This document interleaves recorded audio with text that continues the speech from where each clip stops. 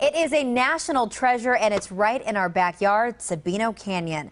People from all over come to hike its trails and keeping it clean and protected is Friends of Sabino Canyon. Through fundraising and education, members of the nonprofit are working to preserve and enhance the canyon for us and future generations.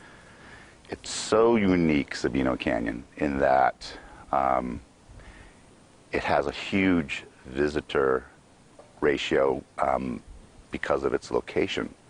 There's a, a, barbed wire fence not very far over that way that separates um, the, the town of Tucson from a wilderness experience. And um, Sabino Canyon is kind of the launching Donations are more important than ever with so many recent government cuts. With the money, Friends of Sabino Canyon build and maintain trails, stonework, and bathrooms, but they're thanked most for paying for school buses to take students on field trips to the canyon. Many students experience it for the first time who might otherwise never get to see it. You know, you can come in here and take a tram ride, or you can come in here and take a casual little walk. Um, and or you can take hundreds of miles of trails through the wilderness. So, um, so to each person, there's a different experience.